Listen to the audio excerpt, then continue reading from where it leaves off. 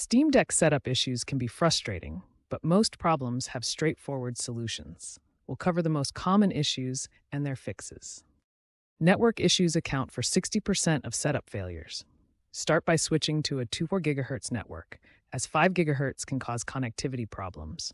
If that fails, try using your phone's mobile hotspot as a temporary workaround. For persistent connection issues, manually configure DNS settings to use Google's DNS at 8.88.8 or Cloudflare's at 1.11.1. This often resolves authentication problems during initial setup. Game installation hangs are common, especially at 0%, 16%, or 100% completion. The first step is clearing Steam's download cache through Settings, then Downloads, then Clear Download Cache. If clearing the cache doesn't help, try changing your download region to a geographically closer server. Also, verify you have sufficient storage space and that your microSD card is functioning properly. MicroSD card recognition problems often stem from compatibility issues.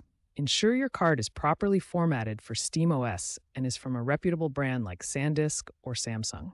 For games that won't install or run properly, try forcing a Proton compatibility tool update. This can resolve issues with Windows games running on the Steam Deck's Linux based system. Valve has significantly improved the setup experience. The first time setup completion rate has increased from 78% at launch to 94% today, thanks to better error handling and network diagnostics. Remember that network related issues still account for 60% of setup failures, so addressing Wi Fi and DNS problems first will resolve most initial setup issues you encounter. When basic troubleshooting fails, advanced system level solutions can resolve persistent Steam Deck setup issues. The first advanced fix to try is a soft reset.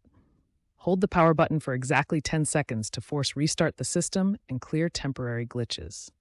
For more persistent issues, boot into recovery mode by holding volume down plus power button during startup.